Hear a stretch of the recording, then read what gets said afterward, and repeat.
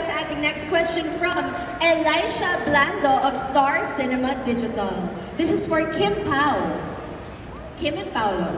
Kim Pao's fan base is growing bigger and bigger. Since nakagawa na kayo by now ng dalawang series, may maaabangan kaya ang fans sa big screen naman? And what role or concept would you like to do as a pair for a film project?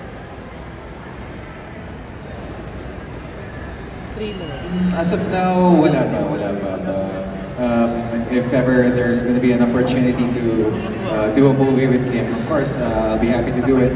And I'll be happy to collaborate or maybe even co-produce it. Ganun ka ka-game, kahit producer, pwede. Okay. Mayaman po talaga.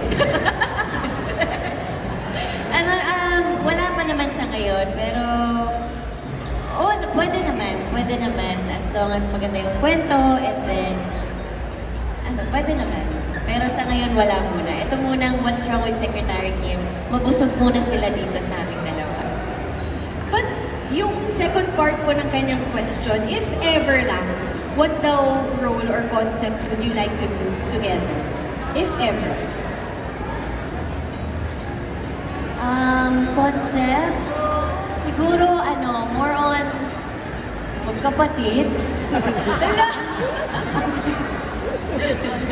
Gulatin niyo lahat, no? Oo, Biglang siguro magkapatid. surprise na lang. Kahit anong concept naman, magagawa naman yan ng paraan. Natawa siya sa joke niya. Uy, tawanan niyo naman. Kasi sometimes na siya mag-joke. Aray, sakit tiyan ko, nakakatawa.